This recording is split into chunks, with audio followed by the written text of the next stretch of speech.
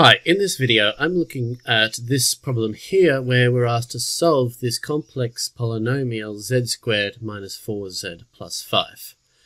Now just because it's complex doesn't stop us using any of our normal procedures. So because this is a quadratic, I can use the quadratic formula.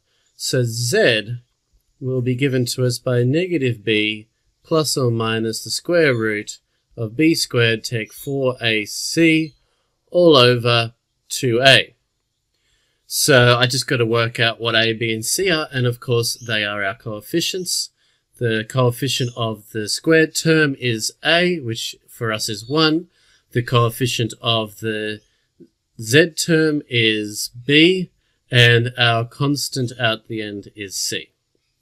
So going in and filling in our information, z is going to be negative of whatever b is, so we're going to have negative of negative 4 plus or minus the square root of that b negative 4 squared, so negative 4 squared minus 4 times by whatever a is, which is 1, times by whatever c is, which is 5.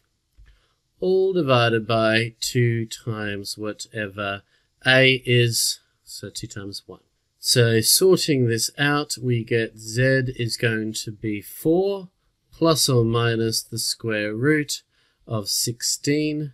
Take 4 times 1 times 5 is 20 all over 2. And then working out the square root, we have the square root of 16 take 20 is negative 4 over 2. So z is going to be 4 plus or minus, now the square root of negative 4 is of course 2i all over 2. And lastly, we just do that divide. So z is going to be 4 divided by 2 is 2, plus or minus 2 divided by 2, which is 1. So I won't write it. And we have i. So the two roots of this equation z minus 4z plus 5 equals 0 is that z is either 2 plus i or 2 minus i.